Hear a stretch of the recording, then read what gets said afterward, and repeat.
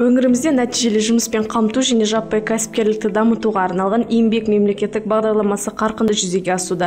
Бағдарлама кәсіпкерлік бастаманы ынталандырудың екінші бағыты бойынша стипендия төлей отырып кәсіпкерлік негіздеріне тегін оқыту арқылы мемлекеттік қолдауды көздейді.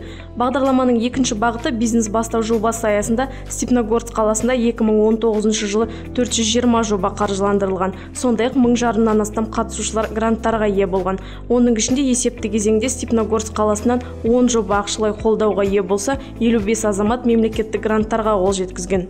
Айта өтейік іске асырылған жобалардың 80 пайызы жұмыссыздар санатынан болса қалған 20 пайызы өз бетінше жұмыспен қамтылған ауыл тұрғындары болып отыр. Бүгінде аталмыш жоба аясында өз кәсібін дөңгелетіп отырған көпбалалы ана назгүл серікбаева ұлттық нақыштағы киім үлгілерін сондай ақ көрпе тігумен айналысады. Халыққа қызмет ету орталығына барып сұрастырып білдім. Олар мені атамекенге жіберді. Сол бастау бизнес бастауды оқыдым. Жиырма бір күндік курсты. Ол жерде мен өзіме өте көп білім алдым. Қазіргі нарық жайлы қандай бизнестің тиімді жолдары бар және кәсіпкерлікпен ашу айналысу үшін қай жерден бастау керек екендігін бізге көп өте көп информациялар берді. Кәсіпкерліктің шыңына жету үшін маған заманауи техникалар керек болды. Мына бизнес атамекен арқылы бизнес бастау жобасы маған көпбалалы ретінде 505 мың теңге берді. Мен сонымен өзіме қажетті қазіргі заман талабына сай өте жақсы машинкаларды сатып алдым. Сонымен кәсібімді ары қарай жалғастырып отырмын. Қазіргі негізгі жұмыстарым мен ұлттық нақыштағы көрпелерді тігіп жатырмын.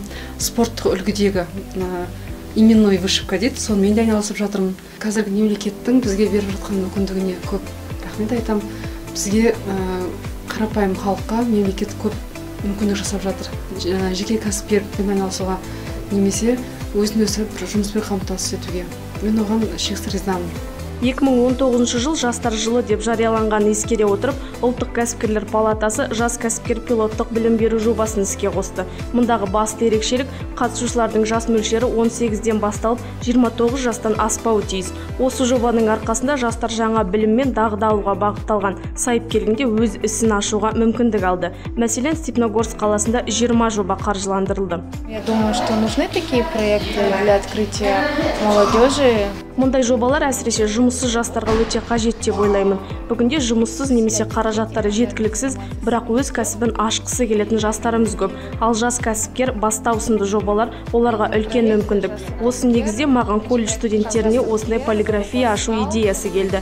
Бәрімізге мұндай жобаларымызды іске асыруға мүмкіндік беріп отырған мемлекеттік бағдарламалардың барына қуаныштымын және кәсіпкерлер палатасына алғысымды білдіргім келеді деп мәлімдеді жоба қатысушысы.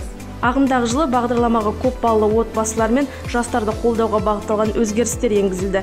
Мәселен 2019-2021 жылдары жастардың жаңа бизнес идеяларын іске асыру үшін аз қамтылған көпбалалы отбасылар мен мүмкіндігі шектеулі. Алайда еңбекке жарамды азаматтарға 505 мың теңгеге дейінгі мөлшерде 30 мың тегін грант берілмек. Осылайша өзін өзі жұмыспен қамтыған және жұмыссыз халықты кәсіпкерлік қызметпен айналысуға тарту арқылы халықтың экономикалық белсенділігін арттыру бастау жобасындағы кәсіпкерлікке бейімдеудің негізгі мақсаты.